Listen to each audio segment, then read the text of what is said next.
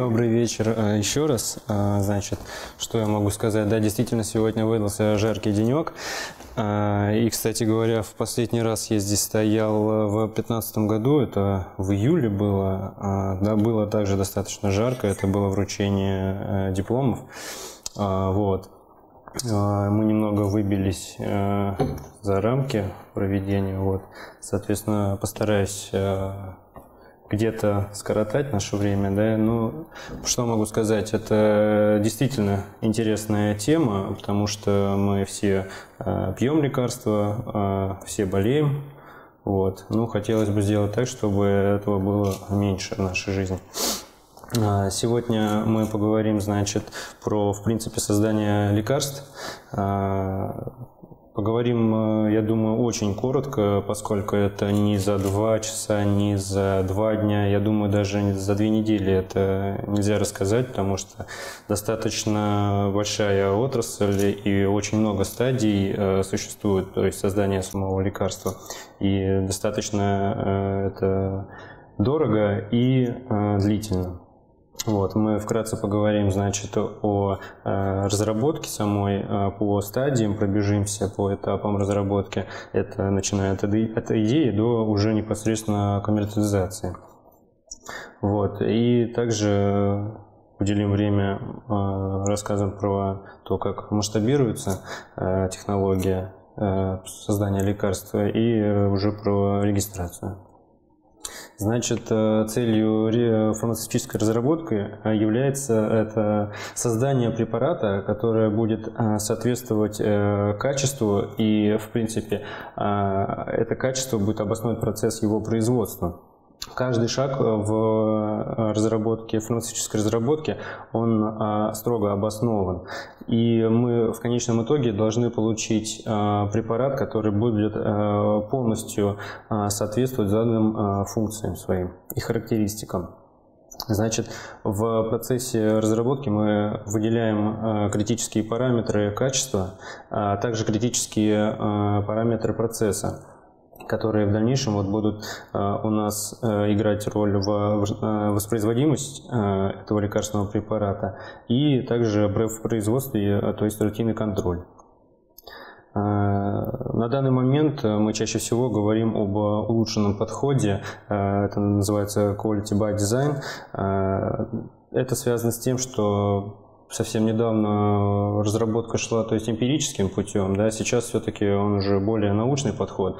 То есть, если раньше мы э, делали что-то, да, э, пробовали делать, и только после этого оценивали, что мы получили и для чего это пригодится, э, то теперь мы начинаем немного с конца и выстраиваем матричную систему, то есть мы уже заранее понимаем, что будет, если сделать так или иначе.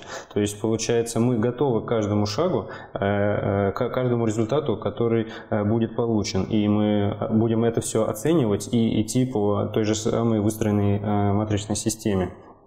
То есть получается все-таки, э, что целью является это вот э, создание э, качественного препарата, который в дальнейшем будет оставаться таким же, то есть еще и эффективным и безопасным. Э, с чем это связано, да? То есть вот э, сам контроль э, на начальном этапе, в принципе, вот идеи и фармразработки связан с тем, что это достаточно затратные, затратные процессы и очень много времени уходит на создание, то есть оригинального препарата инновационного.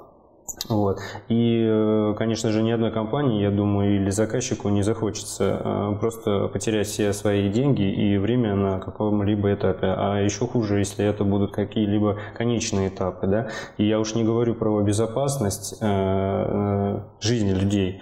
То есть даже если вот вспоминать, недавно вот был случай, французская фармацевтическая компания производила ингаляционный препарат, он от кашля шел, шел биопарокс.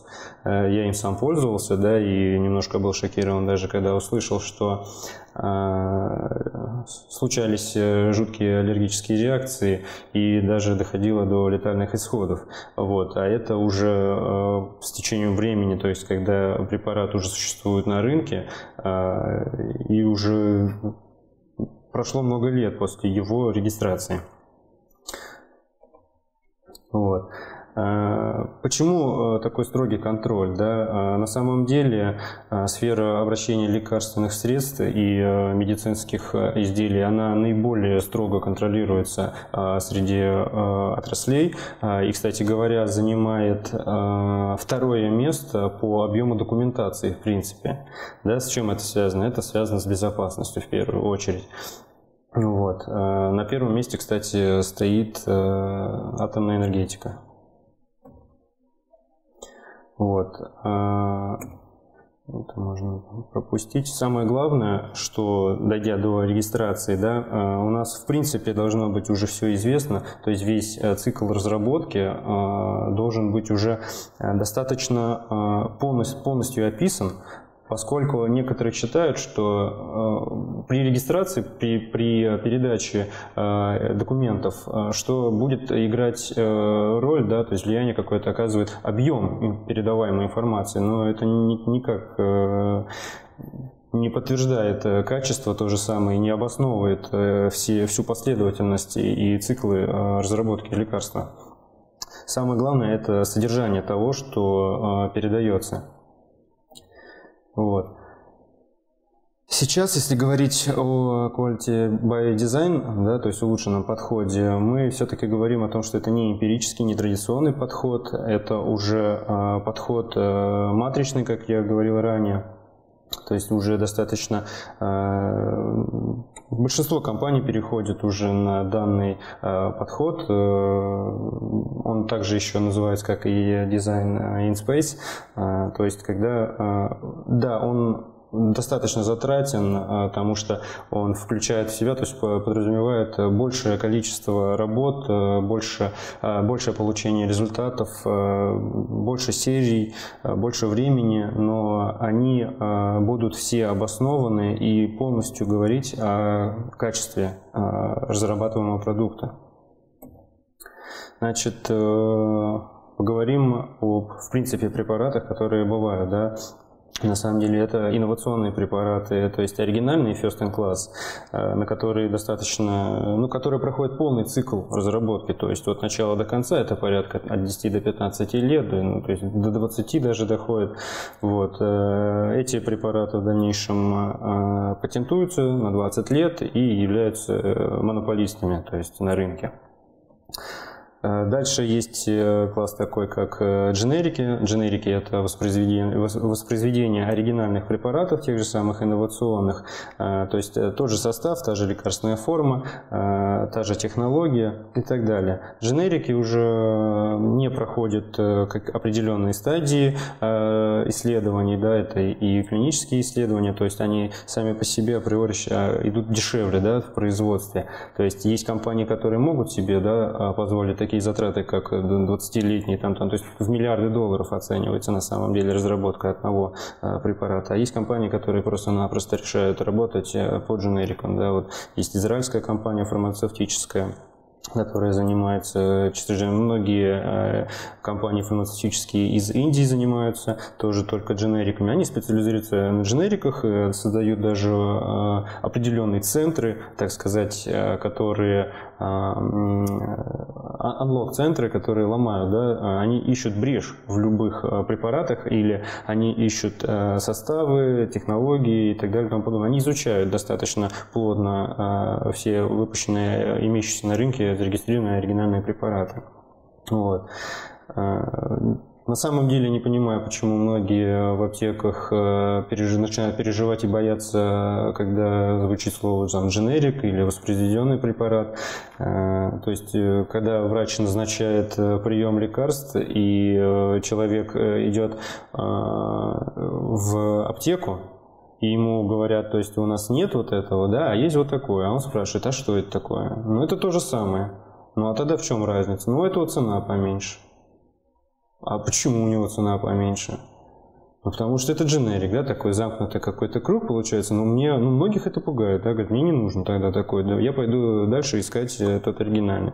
На самом деле это все неправда, да, то есть, что оригинальный лучше дженерик. Потому что оригинальный просто, да, он вышел. А, почему он дорогой? Почему такое ценообразование? То есть все вот эти стадии, они и сказываются на его себестоимости.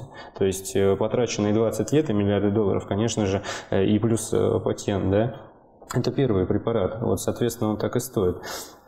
А дженерики, они просто ждут там уже вот подхода, да, то есть когда кончается патент, на самом деле они, многие компании уже готовы просто влиться в рынок, а, почему? Потому что если оригинальный препарат занимал у нас 100% да, на рынке а, по данному а, препарату, как э, по классу, да, то первый дженерик, который выйдет на препарат, он будет занимать 40 уже процентов. Оригинальный 60, дженерик 40. Да, это первый. А все остальные уже там будут ну, намного меньше. То есть они будут простыми дженериками, которые даже будут и не покупаться, не продаваться. Это и известность, и в том числе и бренд, да, когда мы узнаем после а, препарата, который долгие годы существовал как оригинальный, что есть другие, ну, сложно. Это люди на самом деле очень трудно к этому относятся, да, и может быть из-за того же самого банального непонимания.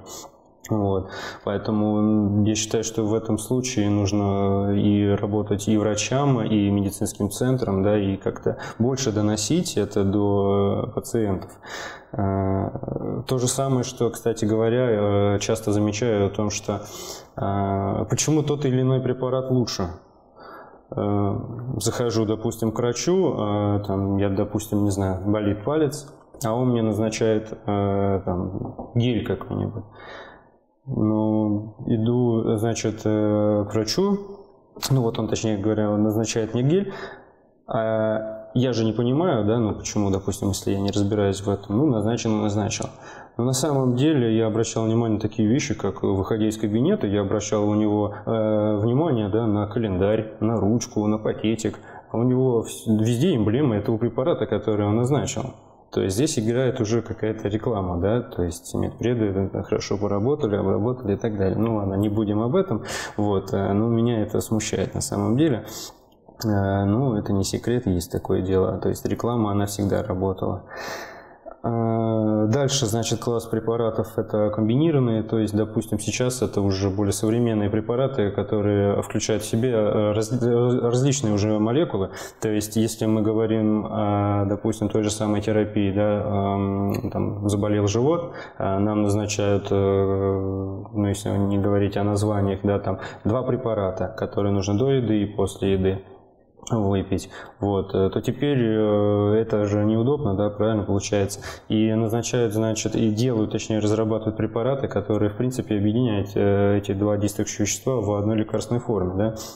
Э, либо э, это случается еще, знаешь, когда комбинируют э, препараты, это связано с тем, что есть все-таки доказательная база или хотят доказать о том, что в, именно в комбинации они будут работать более эффективно и даже открываются, допустим, какие-либо дополнительные эффекты. Вот. Кстати, если говорить о дополнительных эффектах, да, самый, наверное, известный случай, в принципе, мировой в фарминдустрии, это, значит, на примере э, селективного ингибитора фосфодиэстеразы пятого типа, да, он же силденафил, он же Виагра. Когда на одной из фаз клинических исследований пациенты стали красть таблетки, просить дополнительно еще, э, и врачи не понимали, да, в чем проблема. То есть, э, они, то есть были случаи уже сообщения об утере э, этих э, таблеток, таблеток и так далее. Э, на самом деле все просто. Был дополнительный эффект, который на самом деле являлся не дополнительным, а его основным. Вот, так и, в принципе, вот история есть такая у Viagra. Ну и дальше уже э, дженерики с улучшенными свойствами идут, то есть это уже так и они сейчас так называются как э, супердженерики.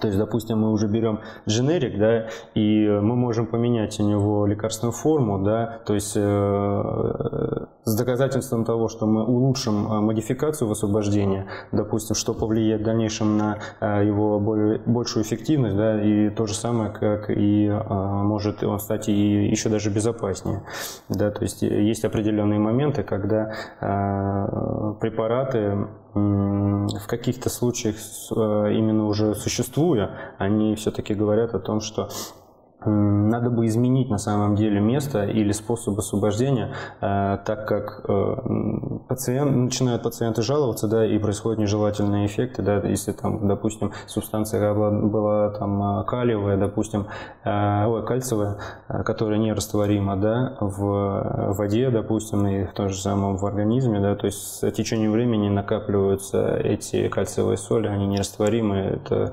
забивают мочеиспускательные тоже каналы и так далее, да, то есть люди там страдают уже от другого, принимая такие э, лекарства. Значит, э, идея такова. Э, есть сама по себе идея, дальше происходит научный поиск новых молекул. То есть молекул может быть на самом деле большое э, количество, там, множество. Их э, они может быть 100 тысяч, может быть миллион. Но на самом деле происходит скрининг, и все-таки э, выбор там происходит там, сначала трех, а потом уже в принципе и одной. Да? Дальше по этапу происходит фармразработка, которая в принципе заканчивается масштабированием, вот, переносом технологии. Э, параллельно, э, то есть в, еще на этапе разработки происходят доклинические исследования, это исследования на животных, и э, также клинические исследования и после уже пострегистрационный период это мониторинг да. Дальше вот сейчас еще и ввели а, у нас фармаконадзор как э, тоже они, они контролируют именно по, э, жизненный цикл лекарственного препарата уже после регистрации, то есть уже когда пошла коммерциализация. Значит, что касается о контролирующих органах, да, э, то международные э, органы это регуляторные, то есть у нас идет эм, Всемирная организация здравоохранения э, и Международная конференция по гармонизации. А из локальных это государственные фармакопеи, э, приказ Минздрава и э, федеральный закон об обращении лекарств. Вот. И в итоге у нас получается, что только одна молекула проявляет те задан... обладает теми заданными характеристиками, которые в принципе были задуманы да, по идее нашей.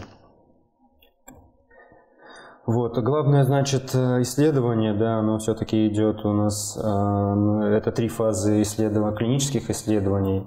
Э, в первой фазе у нас самое главное это выявить безопасность и дозировки. Да, если на доклинических исследованиях мы говорим о том, что исследования происходят на животных, а, там увеличивается многократно дозировка лекарственного препарата и смотрится, в принципе, а, токсичность. Сначала поведение, а дальше токсичность. Так вот, первая фаза клинических исследований – это исследование уже на людях, а, то есть проводится именно безопасность. Сначала это небольшие группы, то есть дальше во второй фазе это уже пройдет оценка эффективности терапевтической этого лекарственного препарата, да, и вот третья фаза она заканчивает э, клинические исследования на людях, это уже когда берутся когорты людей, да, достаточно уже много пациентов, вот, и проводятся ну, уже долгосрочные мониторинги и эффективности и безопасности лекарственного средства. Значит, дальше после а, идеи у нас идет выбор мишени, да, то есть если это раньше у нас выбор мишени э, происходил следующим образом, это болезнь, мишень, лекарства, то в 21 уже веке мы используем мультитаргетные а, лекарства, то есть которые действуют э, на там, несколько рецепторов процентов 70 э, лекарств сейчас они а, идут как э, рецепторные. Значит, фармразработка, какие этапы? А, подготовительный этап э, идет у нас, это то есть теоретическая проработка в некоторых бигфармах, больших компаниях, да, такой этап может длиться а, буквально год.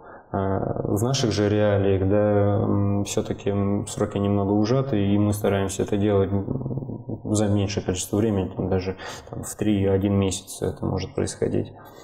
Дальше идет э, преформуляция, то есть когда уже непосредственно поступает, у нас ну, есть после теоретической проработки поступает уже субстанция и начинается непосредственно создание э, лекарственной формы, то есть идет выбор технологии и так далее.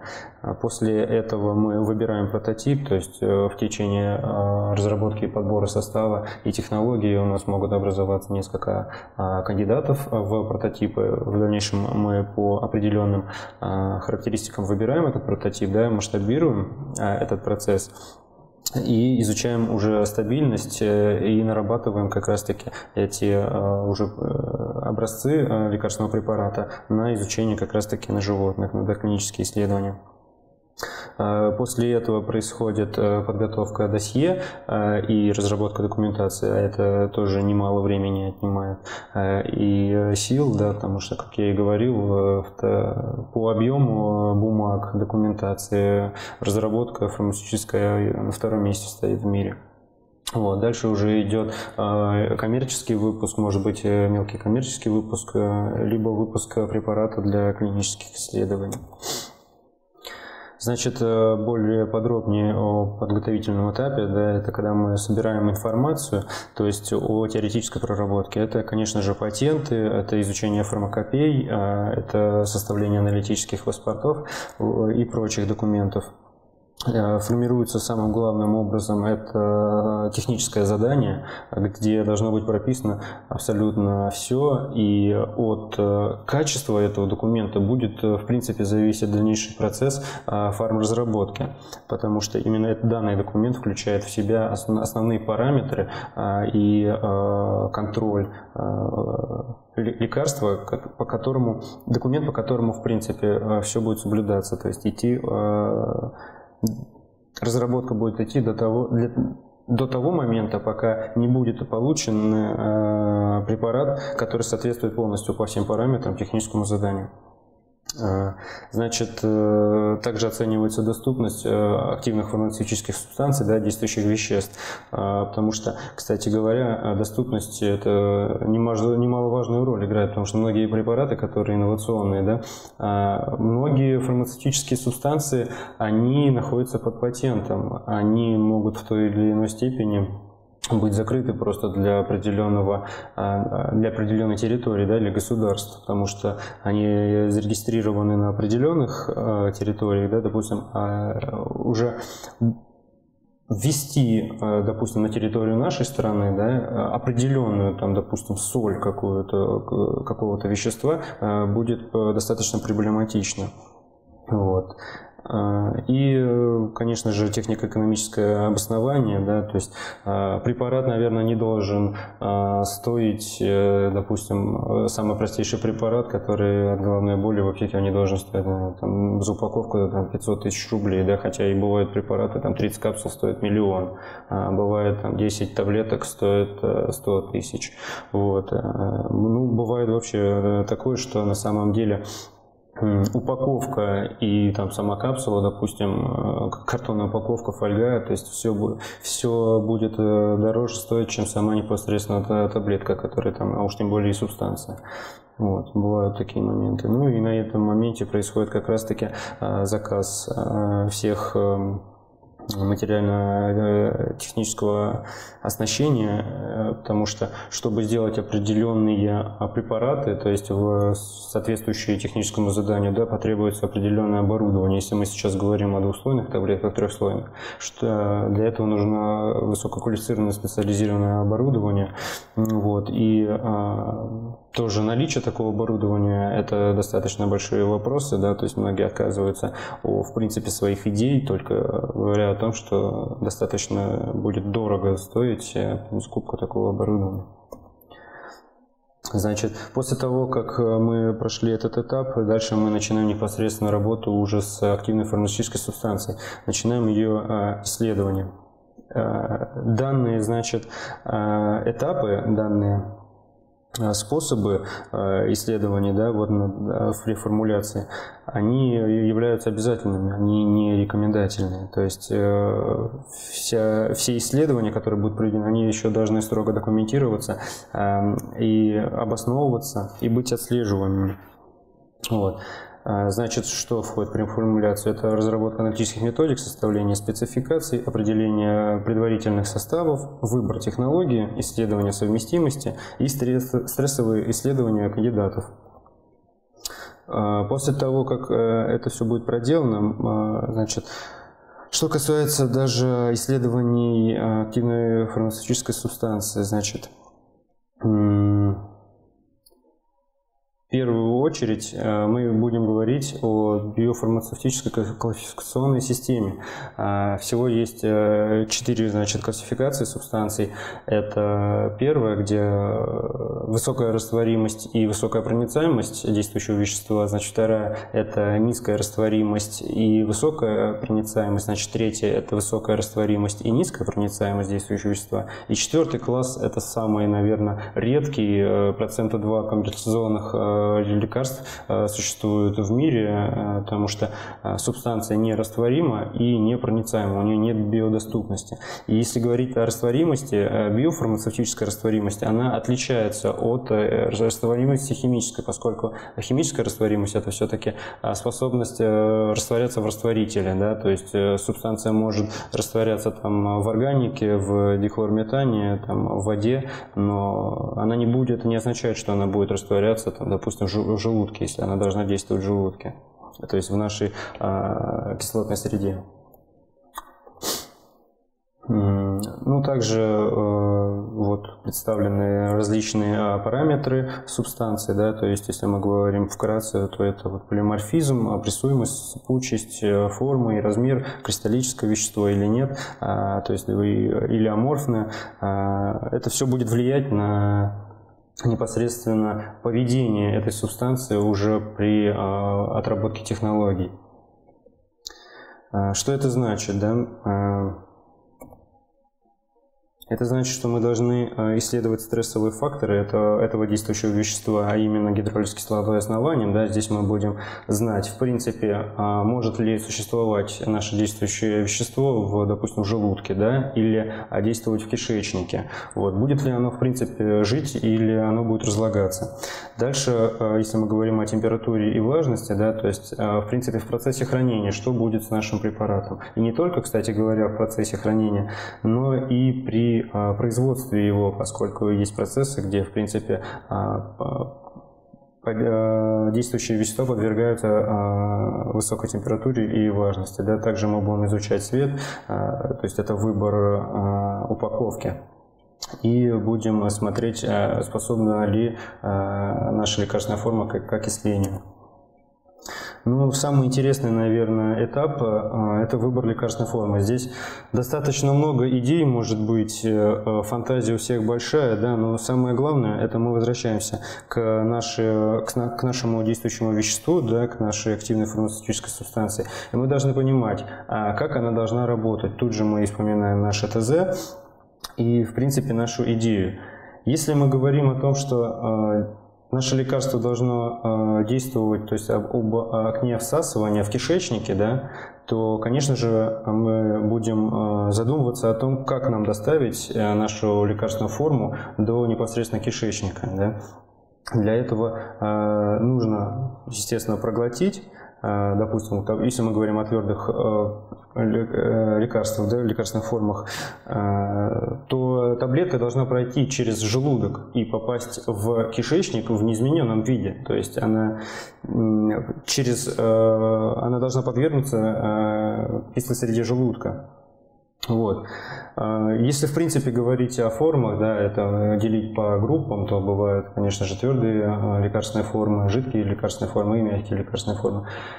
То, какую форму нам выбрать, да, это все зависит от того, а, все-таки, э, где она должна работать, где она должна действовать, потому что при, горле, э, при боли в горле мы вряд ли будем мазать шею какой-то мазью, да, или при том, чтобы там, я не знаю, синяк, синяк заживить, э, нам вряд ли придется делать какой-то укол, да, то есть, э, ну, это не только с этим связано, конечно же, напрямую это еще связано, э, конечно же, с непосредственной молекулой, да, э, то есть, если мы говорим вот э, об стрессовых исследованиях, э, допустим, наша молекула, она может э, просто-напросто не жить в кислой среде, как же ее тогда доставить?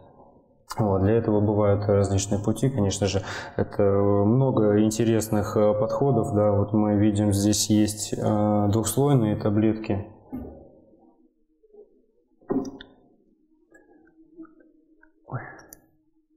Вот здесь представлены двухслойные таблетки. Они бывают сейчас и трехслойные, и пятислойные.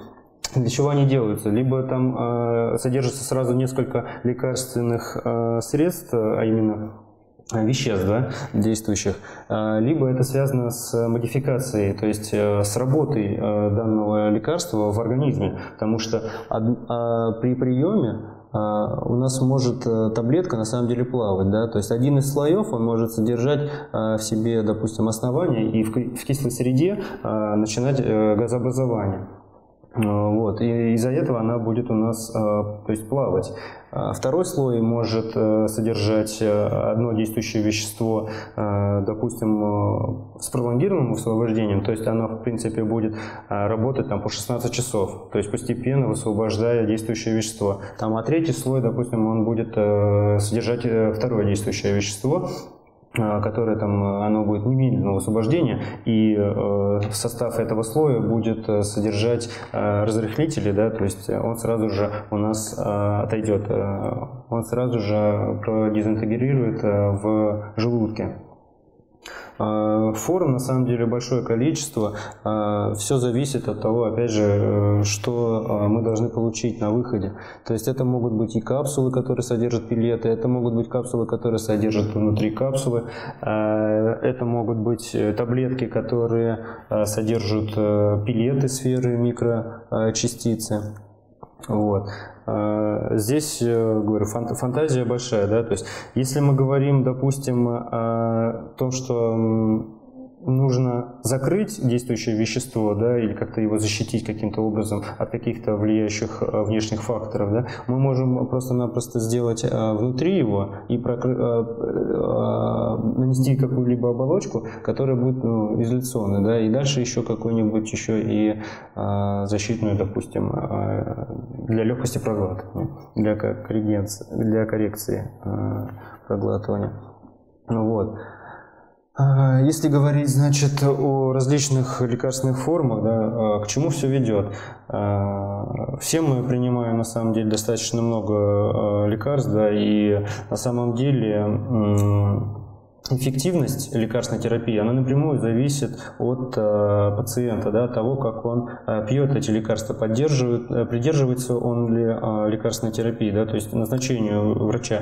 Ведь э, бывает такое, да, я с этим сам сталкивался, что, э, там, допустим, в день назначают, ну, буквально там 4 лекарства, да, которые нужно пить, то есть в разное э, время. Э, утром одну таблетку, в обед перед едой другую капсулу, после еды одну одну таблетку, там три таблетки вообще вечером. Ну, бывает такое, что а, нужно пить еще при этом и какие-нибудь сиропчики, растворы и так далее. А, это все, конечно же, неудобно. И э, со временем просто пациент начинает э, бросать курс, и, и нет никакой эффективности да, в этом лечении.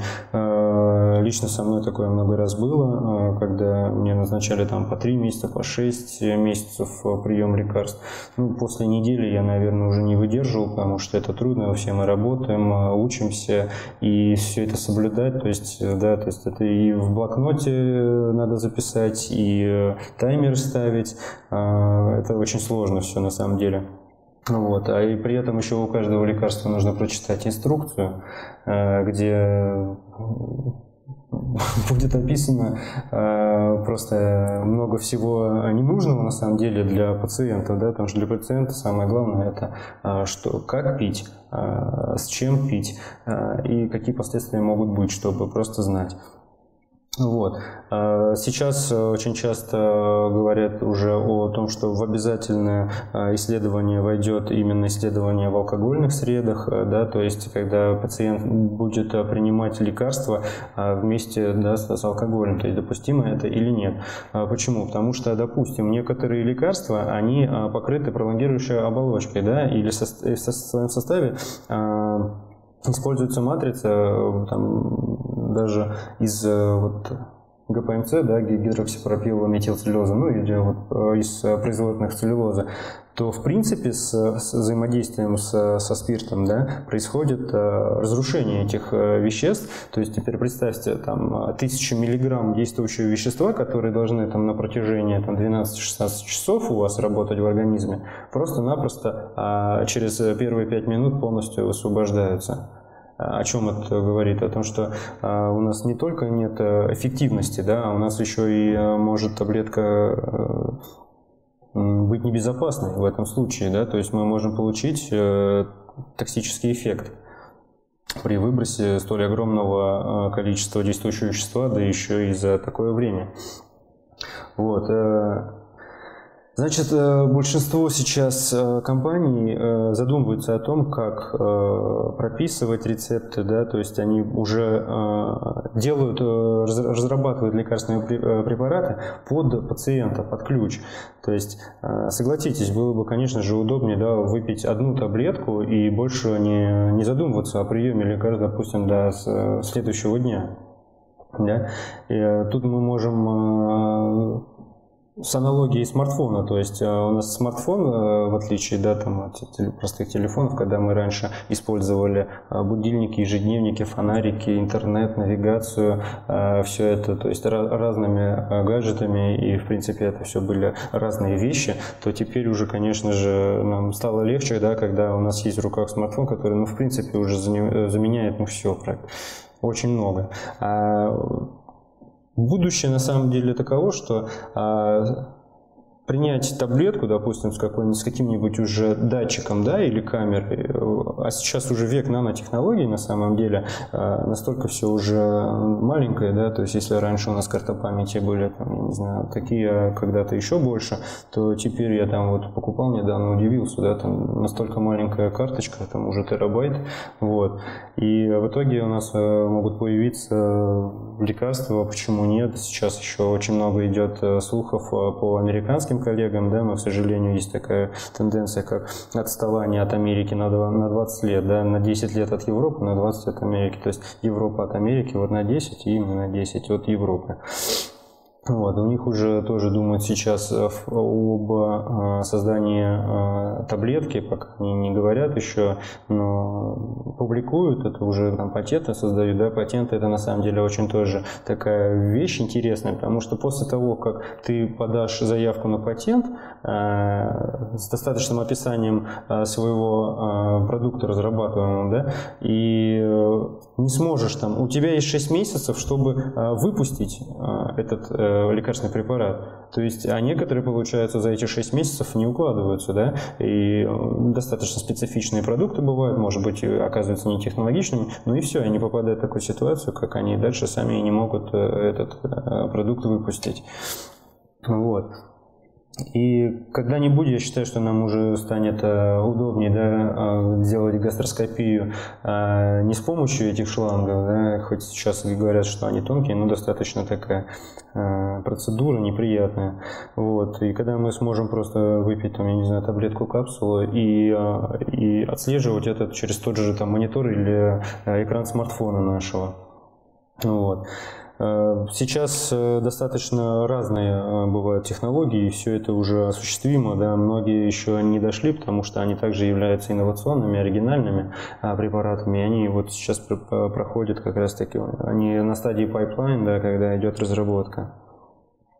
Вот. И если мы говорим о системах доставки, то сейчас, э, в принципе, можно вот э, самый большой, э, самый больший процент да, в рынке, конечно же, занимает таблетки и капсулы. Да. Растворы, Каждая форма определенными э, обладает э, преимуществами и недостатками. Да? Там вот раствор, допустим, надо, там, допустим, колоть, или а, он будет э, нестабильный, да, его в холодильнике держать. Но тем не менее, твердые лекарственные формы, они вот устоялись на рынке как самые популярные. Так вот, если говорить о уже наш, нашем желудочно-кишечном тракте, да, то сейчас доставлять лекарства можно разными путями, и это на сегодняшний день, наверное, самое уже эм, популярным является это пролонгация, э, когда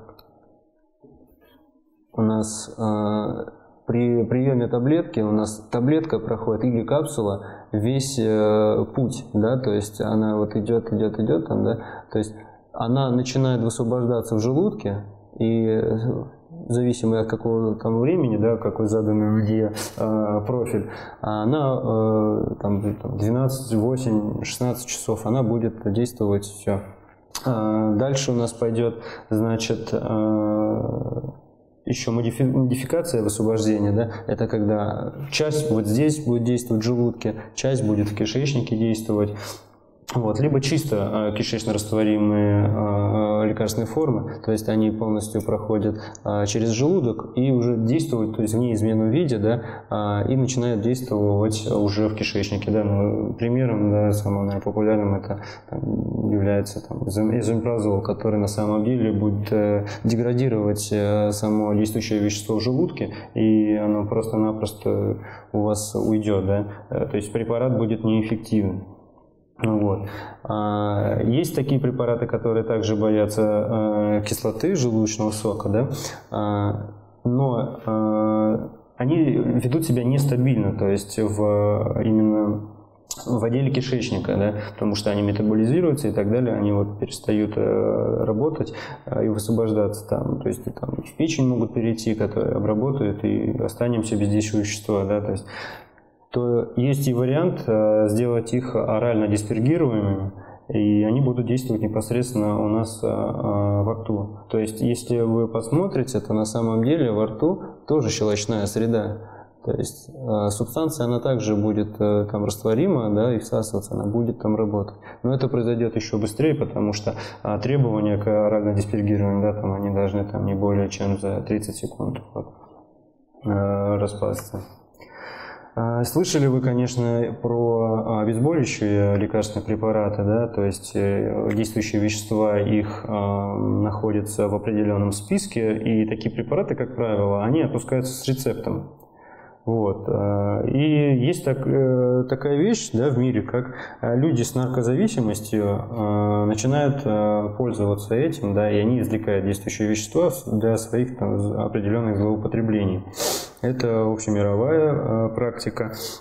Так сейчас э, все-таки, э, когда у нас есть возможность выбирать лекарственную форму, да, то есть ее способ доставки, а также есть большой широкий выбор применения технологии той или иной, мы можем сделать так, что просто-напросто это будет невозможно сделать. Вот. Э, и по поводу выбора технологий, да, а, это мы делаем не только с этой целью, но и возвращаясь опять же к свойствам активных э, наших э, фармацевтических ингредиентов, действующих веществ. То есть, если мы говорим о том, что они боятся влаги, да, влагочувствительные а, субстанции, то мы выбираем то есть, технологии прямого прессования или сухой грануляции. Что это такое? Это когда мы смешали, затаблетировали или закапсулировали, да, а, или произвели сухую грануляцию, то есть компактировали, тестирования. И у нас есть уже лекарство, готовая лекарственная форма, которая отправляется на дальнейшие э, исследования. Э, потому что многие на самом деле думают, что э, как же это все просто взять, ну, затаблетировать там, или закапсулировать. Но чтобы это сделать, это нужно получить массу, которая будет таблетироваться и будет впоследствии обладать все-таки свойствами да, своими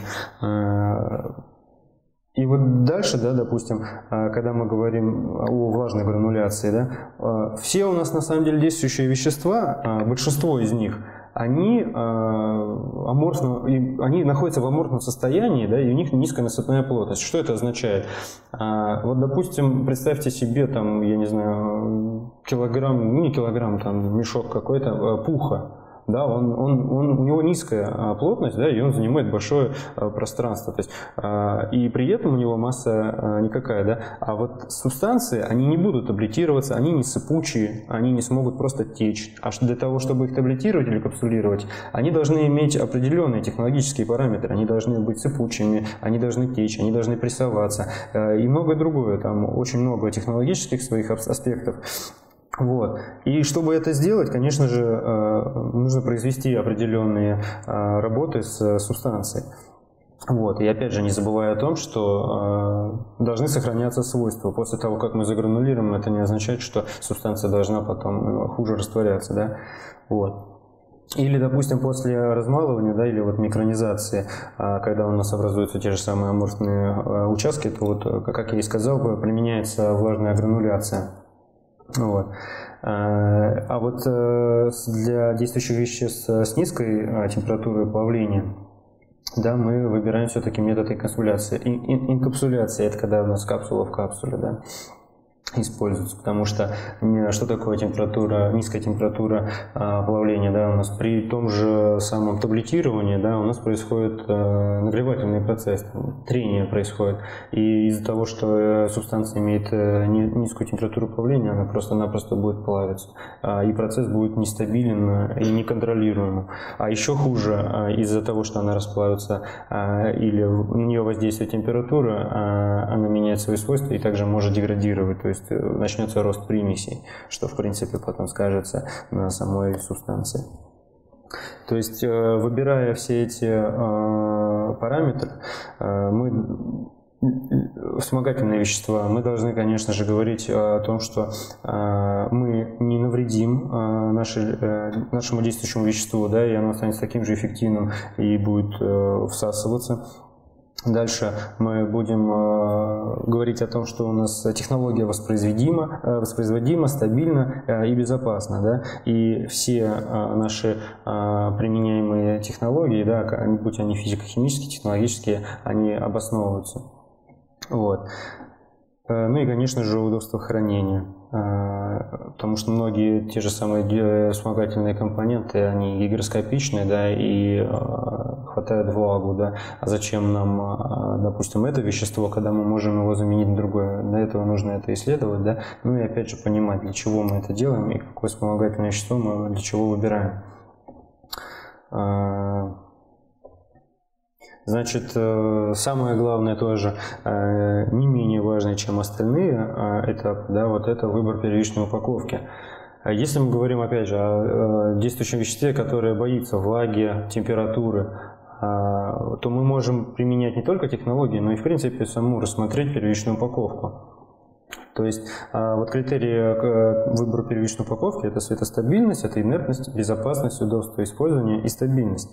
Вот. Если мы говорим, допустим, о тех же самых э, упаковочных материалах, да, то самым э, вот, влагозащищенным являются на самом деле стеклянные ампулы. Но стеклянные ампулы мы все понимаем, что это будет и, допустим, подороже, чем да, та же самая, кстати, алюминиевая упаковка. Э, это будет э, и э, есть определенные трудности в производстве, да, э, и, конечно же, не забываем о том, что это стекло, оно бьется вот, и неудобно при транспортировке. Если э, субстанция наша или лекарственный препарат э, боится, то есть там, таблетка, капсула света, то, конечно же, здесь целесообразнее, вот, очевидно, выбирать алюминиевую упаковку. Она будет не только защищать от влаги, но и от света. Да? А, ну, либо, кстати, можно э, выбрать пленку ПВХ, но, к сожалению, она будет э, уже пропускать э, влагу и будет несовместима, да, то есть ее целесообразности не будет в выборе при э, работе с субстанциями, которые боятся влаги. Значит, э, после уже, э, точнее на этапе фарм-разработки, после исследований уже в лаборатории, да, выбора состава, технологии, изучения стабильности, мы проводим доклинические исследования, исследования уже на животных. Да. Это для начала фармакокинетика, то есть э, они называются адмиотесты, это всасывание, распределение, метаболизм и выведение. Да. То есть всасывание – это где наше действующее вещество будет всасываться, да, то есть место или ткани, или органы. Э, нет, э, распределяться она будет уже в определенных тканях и органах, да. А, уже метаболизм – это значит биотрансформация, э, то есть как наш организм а, примет это что не сделает впоследствии, и после того уже как метаболизм произойдет, будет выведение организмом этого действующего вещества биотрансформированного. Вот. И после изучения фармакокинетических э, исследований, э, значит, э, исследуется токсичность. Она также проводится на животных в многократных дозах, уже увеличенных. И самое главное, это, конечно же, проверить виды действия да, токсического, то есть на аллергию, а, как иммунотоксическое какое действие идет, есть ли мутагены генотоксические а, значит, эм, процессы, а, как влияет, э, в принципе, еще э, лекарственный препарат на репродуктивную токсичность. Вот. И, конечно же, местное раздражающее действие. Значит, э, что можно сказать, в принципе, уже о подводя итоги, наверное, вышесказанным, да, то есть у нас на самом деле э, препарат должен быть э, безопасным, эффективным и качественным, да, то есть э, здесь многие на самом деле трактуют по-своему, кто-то на самом деле вот и ставит на первое место это качество, да, то есть все будет зависеть от качества. Здесь я не согласен, здесь в первую очередь, конечно же, мы говорим о безопасности, эффективности и уже только потом качестве. А, даже по логике происходящего а, это будет э, логичнее просто-напросто э, говорить о безопасности, да, о том, какой мы лекарственный препарат э, разрабатываем. Да. Дальше потом мы проверяем его эффективность, и в конце мы все это при регистрации уже говорим о качестве. Да. Вот. А, какие же бывают тенденции современные да, и а, парадоксы в разработке препаратов? На самом деле, я уже говорил, что в, на территории нашего государства э, все такие реалии, что все принято, принято, принято, принято делать э, быстро, а при этом еще э, требует и качества, да, а по стечению времени э, еще и говорят о деньгах, да, и что это должно быть дешево. Но ведь так не бывает. Э, всегда нужно выбирать что-то двое. Конечно, э, что, каких-то два пункта, потому что очень сложно заказчику доказать, да, что каждый пункт, вот если мы говорим о том, что это будет качественно и быстро, но вот дорого, вот дорого надо обосновывать, да, почему это дорого.